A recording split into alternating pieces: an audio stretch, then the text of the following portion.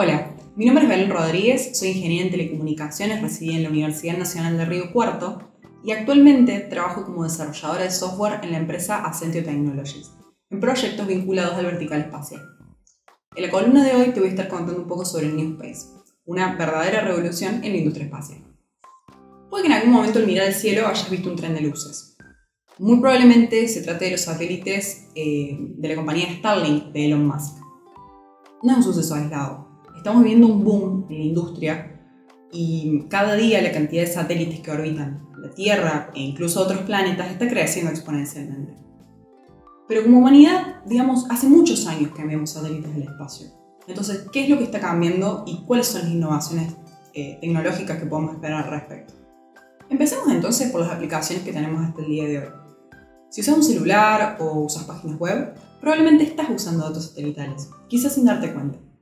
Si usas GPS, estás usando datos de una constelación de satélites que opera a un par de miles de kilómetros de la Tierra.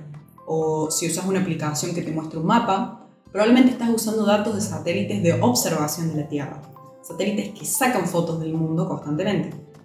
Incluso puede que tu servicio de televisión sea gracias a un enlace satelital, por ejemplo, los que proveen los satélites geoestacionarios como el ARSAT. Los satélites son parte de nuestra vida diaria y al día de hoy tienen millones de aplicaciones. Puedo hacer cosas muy sencillas, como ver mi casa en Google Maps, o puedo hacer cosas un poco más complejas. Puedo, por ejemplo, asesorar a un productor agropecuario sobre eh, cuál es la estrategia óptima para sembrar la tierra en base a las características de la humedad, o puedo conocer cosas como la salinidad del mar, el campo magnético terrestre. Incluso se han logrado cosas mucho más complejas como construir un mapa de otro planeta. ¿Y cómo logramos hacer todo esto? Los satélites, hasta hace un par de años, eran proyectos que eran necesariamente muy complejos y muy, muy grandes. Sin ir más lejos, veamos el caso nacional. Los satélites SAOCOM 1A y 1B, lanzados hace un par de años, pesaban alrededor de 3 toneladas y tenían antenas de 10 metros de largo. Estamos hablando, para tener una analogía simple, de poner un colectivo pequeño en una órbita a 700 kilómetros de la Tierra esto, por supuesto, es un proyecto que involucra muchísima gente de muchas áreas, mecánicos, aeronáuticos, telecomunicaciones o software, y muchos, pero muchos años de trabajo en juego. Entonces, ya sabemos que podemos poner satélites en órbita y podemos hacer cosas bastante complejas en el espacio. ¿Qué es lo que está cambiando entonces hoy en día? Como sucede con todas las áreas de la tecnología, la electrónica cada vez se vuelve más compacta, más eficiente y más barata. Pensemos nomás en los celulares o en las computadoras del día de hoy. Cada vez tengo dispositivos más chicos que tienen más funcionalidades y más capacidad de procesamiento de datos. Sin ir más lejos, un celular de hoy no tiene nada pero nada que envidiarle a una computadora de escritorio de hace un par de años. Exactamente lo mismo pasa en la industria satelital. Cada día puedo construir satélites más pequeños con muy buenas prestaciones y una gran capacidad de procesamiento de datos. Esto hace que el día de hoy existan satélites tan chicos como una caja de zapatos, que pesan alrededor de un kilo. Por supuesto, estos avances no solo tienen que ver con los satélites eh, de manera aislada, sino que afectan a todos los actores del vertical espacial. Los lanzadores, que son los cohetes necesarios para poner un satélite en órbita, cada día son más robustos, más confiables, incluso han llegado a ser reutilizables, como los lanzadores de la SpaceX. De esto es de lo que hablamos cuando hablamos de Space.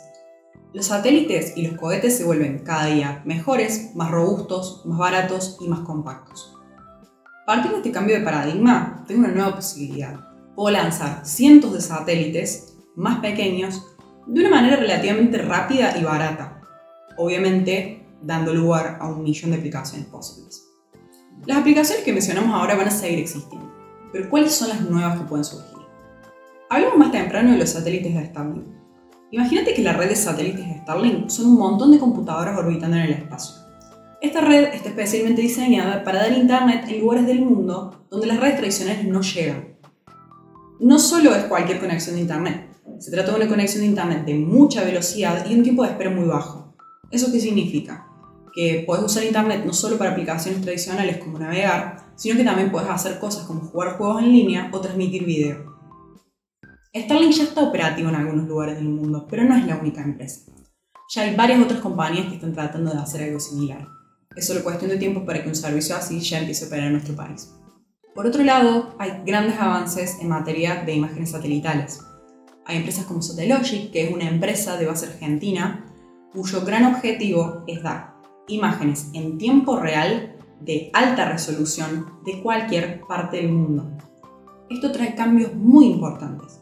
Imagínate que vos no solo ya vas a poder ver el techo de tu casa, sino que también podés ver en tiempo real a la gente o a los autos que pasan por la vereda. Eso significa un cambio rotundo en muchísimas industrias, en cuestiones como la seguridad nacional e incluso la cantidad enorme de aplicaciones que pueden surgir para usuarios como nosotros. La tecnología se está volviendo tan potente y tan accesible que ya no solo se trata de mirar la Tierra. Al día de hoy hay empresas que están poniendo sus ojos en otros lugares del espacio. Hay satélites orbitando diferentes planetas y telescopios espaciales que observan el espacio profundo, enviando esas imágenes a la Tierra para que luego puedan ser analizadas y procesadas. Hubo muchos avances en esta materia en los últimos años. Eh, probablemente escuchaste hablar del eh, Perseverance, que es un rover enviado a Marte, o de los vuelos de turismo espacial que están siendo realizados por empresas como Blue Origin. Actualmente hay empresas e investigadores pensando cosas como cómo cultivar hortalizas en el espacio, cómo construir instalaciones en la Luna o incluso cómo establecer comunicaciones de alta velocidad interplanetarias.